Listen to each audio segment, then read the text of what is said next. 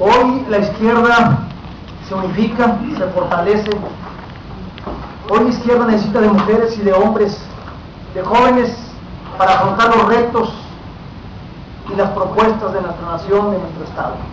Hoy eh, agradecemos la presencia de los jóvenes de las mujeres, de mujeres y de hombres comprometidos con este país. Y cuando hablemos, cuando hablamos del compromiso, es eso es lo que nos mueve.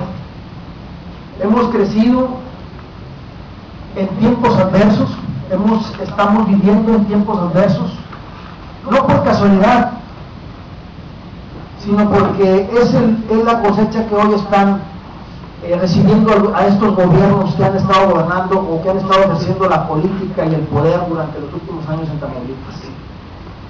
Hablemos de la honestidad, hablemos de la convicción de quienes han estado al frente de este Estado. Hoy nos proponen, y no podemos ser cómplices ya.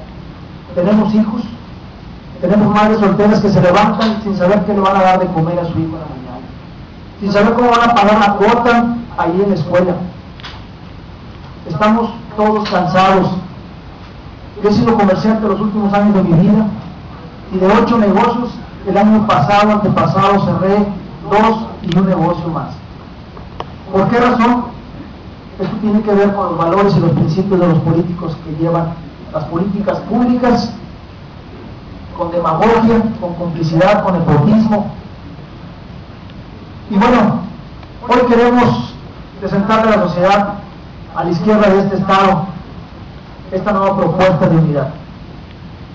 Acabo de regresar de Ecuador me pude dar cuenta que ahí el costo de la gasolina del litro es de 5 pesos. No es posible que una paraestatal como Pemex tenga esos costos que todos los días estamos en la zozobra de, cuánto va a ser el gasolinazo. Esto definitivamente repercute en el desarrollo económico de nuestro país.